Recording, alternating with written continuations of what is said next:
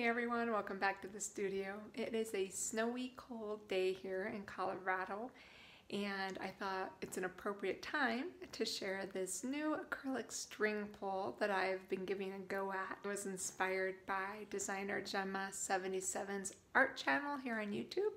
So if you haven't, go check them out. This is a really cool winter birch or aspen um, tree scene and so I'm really excited about this new technique and ready to try some more.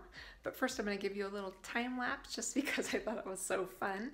And then I'm gonna go into a little bit more of a slowed down demo for you. And I won't be talking so much in this video because if you can't tell, I'm a little under the weather. And so I'm just gonna let it roll and I'll see you guys next time. I hope you enjoy this art demo.